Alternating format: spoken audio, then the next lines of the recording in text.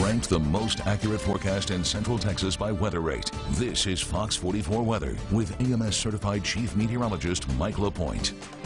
A pretty looking night here in Central Texas. Skies are clear, winds are light, and again, not many clouds around. That is our live Centex Seamless Gutter Sky Tracker on the rooftop of One Killeen Center. And we are checking out crystal clear skies there. Traffic seems to be moving just fine and dandy. And weather-wise, we're watching those temperatures drop. Take a look at some of the numbers right now. It is 49 degrees here in Waco, Killeen at 51, 49 in Gatesville, 56 in Temple. Temperatures are maybe just a tad warmer than Waco down in the uh, College Station area at 55 degrees.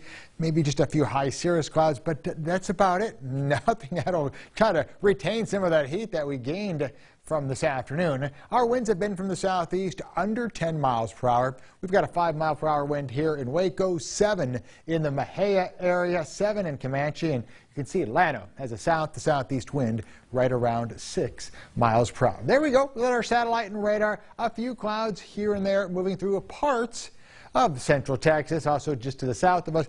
Nothing major, nothing that'll bring us any rainfall. We've got high pressure located up toward the uh, Illinois area and another one over the Four Corners. That's providing a huge ridge here in the southern plains.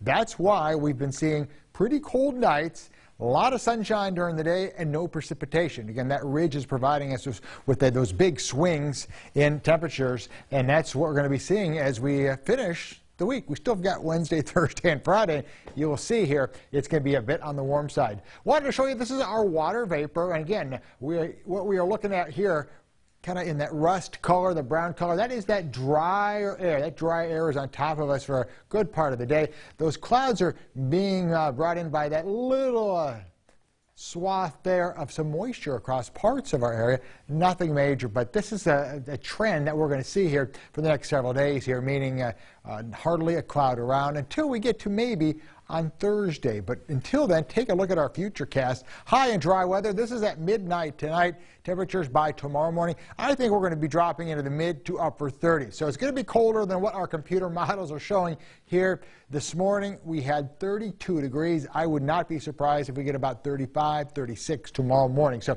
you're going to need the coat before you you push the kids out the door to, to uh, head to school or you're getting ready for work. As we go throughout the morning tomorrow, we're going to see a lot of sunshine, Temperatures climbing into the mid 60s, and by the afternoon, we'll touch the 70s. We're going to be in the mid 70s, I think, under mostly sunny skies. But as soon as that sun goes down, and again, it's before 5:30, we will quickly cool off into the 60s there by 5 o'clock, and by late Wednesday into early Thursday, you notice a little bit more cloud cover moving our way. So I think what's going to happen here is our winds more of a south to, to southeasterly uh, direction, giving us a little bit warmer air and also a little bit more moisture moving in. So look at these temperatures by early in the morning on Thursday. They're going to be in the 50s to start much warmer than the last couple of days and tomorrow morning. And as we go throughout the day on Thursday, mostly sunny skies will be across the board. You'll notice as we extend this out here even, even into Friday, high and dry weather, still under that influence of high pressure, but there is a frontal system not far away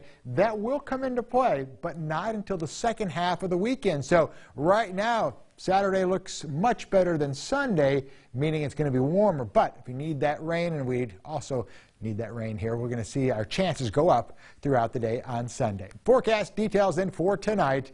Mostly clear skies, chilly conditions, 38 degrees the low temperature, and 76 degrees the high temperature tomorrow.